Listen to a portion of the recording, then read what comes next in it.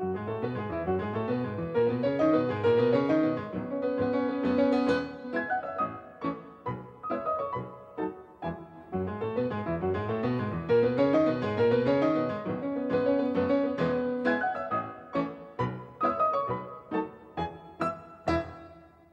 der Zahnradbahn und dem Film sind die wichtigsten Voraussetzungen für den Massentourismus geschaffen.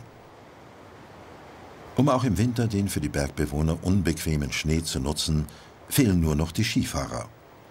Auch sie werden schnell zu Stars im Kino. 1913 dreht Sepp Allgeier die erste Skiabfahrt vom Monte Rosa.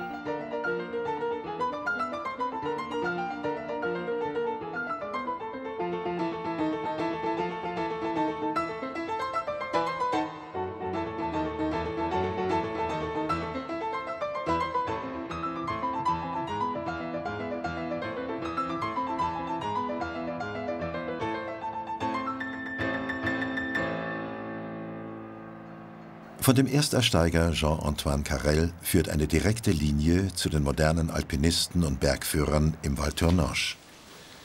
Dies ist das Geburtshaus von Louis Carrel, den die Einheimischen liebevoll Carellino nennen.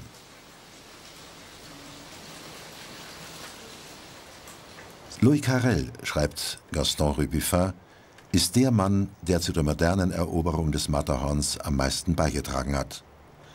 Außer dem Forkengrad hat er die Süd- und die Ostwand als erster begangen. Die Südwand wird zu seinem eigentlichen Revier. Er durchsteigt sie auf immer neuen Routen.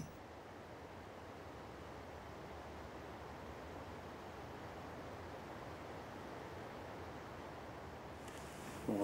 pour lui, c'était la, la montagne symbole de l'alpinisme de la montagne. Il a fait Für meinen Vater war der Cervino das Symbol für den Alpinismus schlechthin. Ich glaube, er hat am Cervino allein elf neue Routen erschlossen. Euh. Mein Vater war auch ein guter Schmuggler, besonders bei schlechtem Wetter oder in der toten Jahreszeit. Wenn die Zöllner ihn fragten, wohin er wollte, dann sagte er, Ma, ich gehe auf die Hütte, da muss ich eine Tür reparieren, die im Winter kaputt gegangen ist. Stattdessen ging er über den Gipfel des Cervino nach Zermatt, übernahm das Schmuggelgut und kam zurück. Alors lui, il montait à la cabane avec la porte, et puis il continuait pour le sommet, descendait à Zermatt, il prenait son, sa charge de contrebande et il venait. Seine Leidenschaft fürs Gebirge war einmalig. Wenn einer versuchen würde, das heute nachzumachen, er würde nicht lange leben.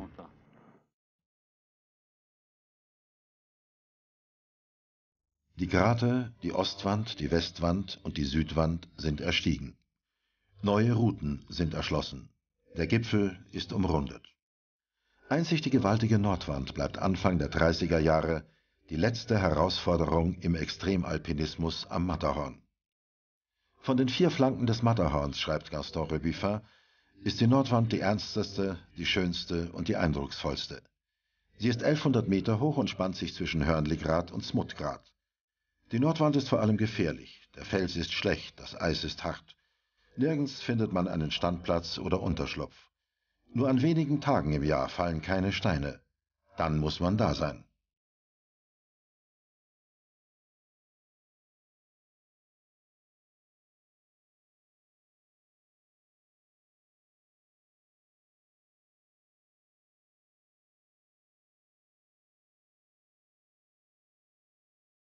Im August 1932 gelingt den Brüdern Toni und Franz Schmidt aus München als ersten Menschen die Durchsteigung der Nordwand. Sie sind die einzigen, die jemals für eine alpinistische Leistung in Los Angeles eine olympische Goldmedaille erhalten haben.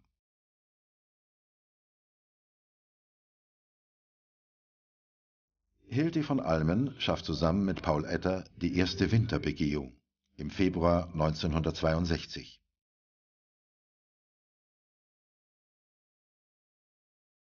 Und dann tritt ein Mann auf den Plan, der den Alpinismus in den 50er und 60er Jahren wie kein zweiter geprägt hat, Walter Bonatti. Zum 100. Jubiläum der Erstersteigung 1865 beschließt er, die Nordwand im Winter alleine zu durchsteigen. Nach drei Tagen und vier Nächten befindet er sich kurz unter dem Gipfel. Gegen 3 Uhr nachmittags bin ich nur noch 50 Meter vom Gipfel entfernt. Da taucht plötzlich das Metallkreuz über mir auf. Die Sonne bringt es zum Glühen und seine leuchtenden Umrisse blenden mich. Die vielen Flugzeuge in der Nähe mit ihrem ohrenbetäubenden Lärm. Plötzlich scheinen auch die Piloten die Magie des Augenblicks zu begreifen. Sie entfernen sich etwas, damit ich die letzten Meter in Ruhe steigen kann. Wie hypnotisiert strecke ich meine Arme dem Kreuz entgegen, bis ich es an meiner Brust spüre.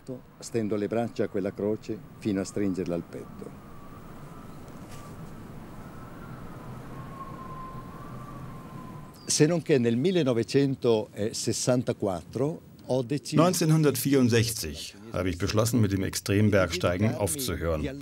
Ich wollte meinen Horizont als Abenteurer auf der ganzen Welt erweitern. Aber das Matterhorn ist mir im Herzen geblieben. Und da wollte ich einen schönen Schlusspunkt setzen mit der Besteigung der Nordwand im Winter. Ich beschloss allein zu gehen.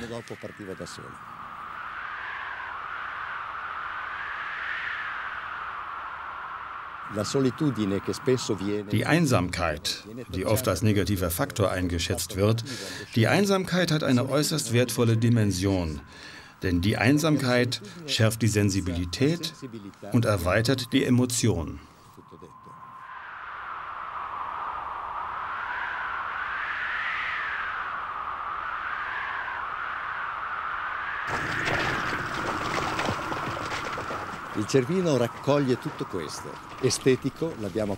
Das Matterhorn enthält all dies. Ästhetik, davon haben wir gerade gesprochen. Dann die hundertjährige Geschichte des Matterhorns, die mit Wimper begonnen hat bis zum heutigen Tag. Und die Ethik. Man setzt sich mit den Bergen auseinander, weil sie das aus menschlicher Sicht wert sind. Ich halte nicht viel von der heutigen Supertechnik, denn das Ziel wird der Sieg der Technik sein und nicht der Sieg des Menschen perché alla fine finiscano le, le vittorie per essere vittorie della tecnica e non dell'uomo.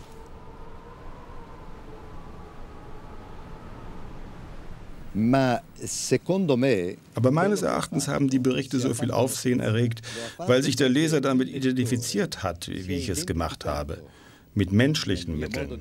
Heute wird die Fantasie eingeschränkt. Allora accende la fantasia. Das Spektakuläre ist nicht meine Sache und ich bin sogar der Erste, der das kritisiert. Denn so eine Unternehmung bedeutet Befriedigung eines natürlichen Bedürfnisses, das jeder von uns in sich trägt als menschliches Wesen. Und es bedeutet sicher nicht, sich als Darsteller zu produzieren. Sicher, man ist auch Akteur, aber das ist etwas anderes. Schade, dass diese Gesten, die aus dem Impuls des Einzelnen mit seinen menschlichen Anlagen heraus entstehen, letztlich zu einem abgedroschenen Spektakel verkommen.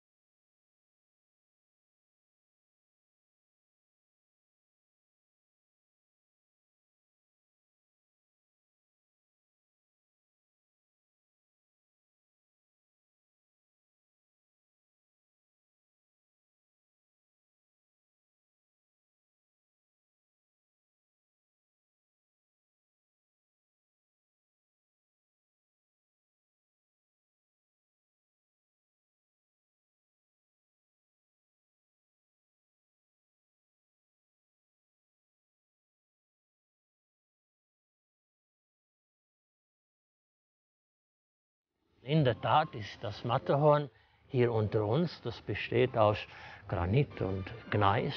Das ist uraltes äh, Grundgebirge und das kam in der Tat von der, was wir Geologen die afrikanische Scholle nennen, her.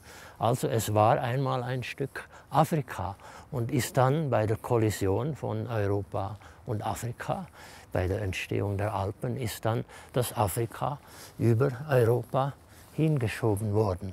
Dann kam natürlich diese gewaltige Erosion, die die Täler formte hier. Und jetzt ist einfach hier noch ein Stück Afrika übrig geblieben.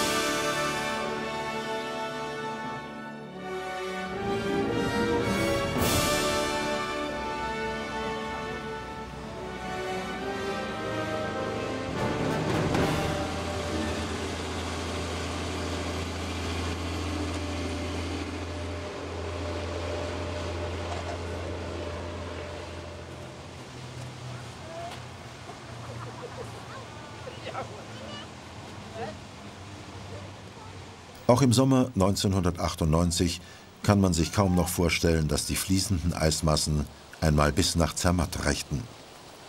Als der Geologe Peter Lehner und seine Schwester Annemarie 1986 den Gletscher vermessen, machen sie einen Fund, der ihnen den Atem verschlägt.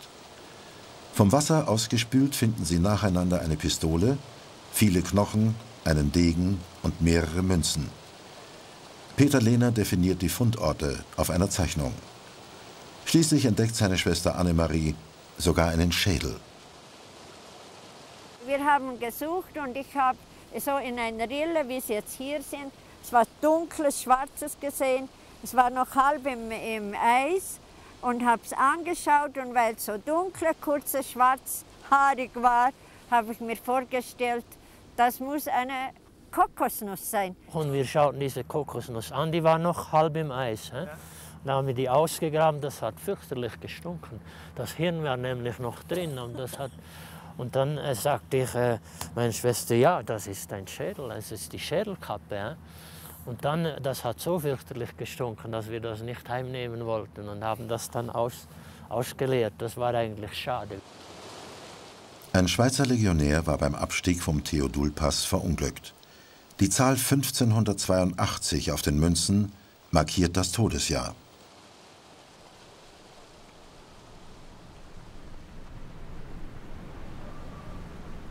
Über den ausgeaperten Theodul-Gletscher und den Theodul-Pass führt uns der Weg noch einmal nach Süden, hinunter nach Breul.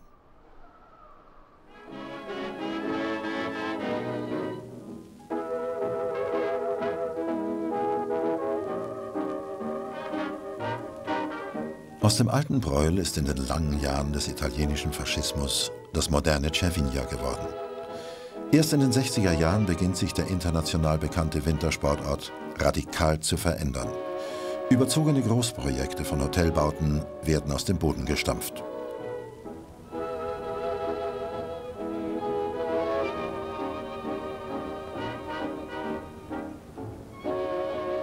Mitten in der Berglandschaft entwickelt sich wildwüchsig ein Konglomerat, das aussieht wie ein Stadtteil von Mailand.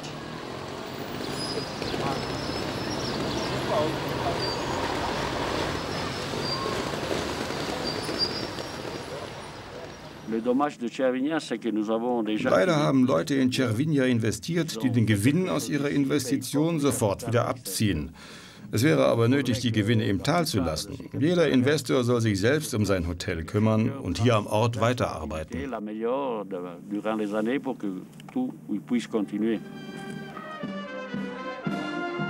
Cervinia soll ein Fehler bleiben, den man nicht wiederholt. Inzwischen besinnt sich das Val Thornage auf die eigentlichen Qualitäten seiner langen Tradition. Denn die Natur, oder was von ihr übrig geblieben ist, ist auch im Val Thornage das einzige Kapital, das es für die Zukunft zu bewahren gilt.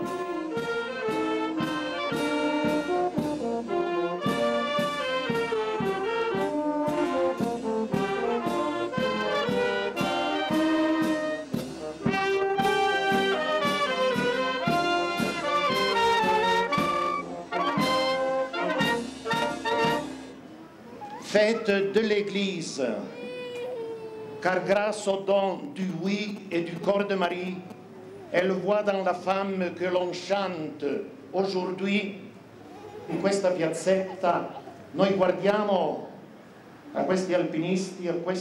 Auf diesem kleinen Platz blicken wir auf die Alpinisten und ihre Führer. Und wir sagen noch einmal, die Berge lehren uns zu leben. Die Pickel und Seile sind Symbole und Zeichen. Denn wir alle brauchen jemand, der uns führt und den Weg weist.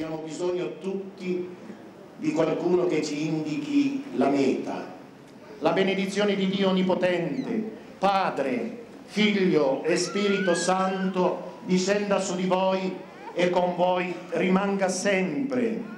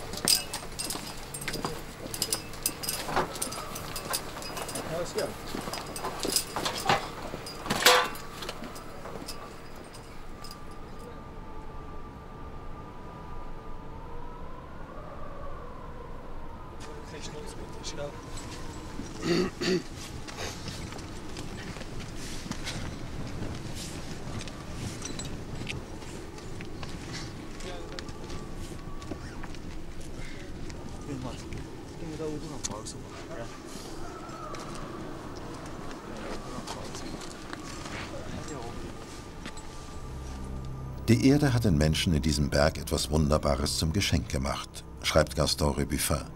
Und die Menschen haben ihn dafür geliebt wie keinen seinesgleichen. Unsere ästhetische Befriedigung wird sogleich von Ergriffenheit abgelöst, denn die Beziehung zwischen Schönheit und Unzugänglichkeit ist unauflösbar.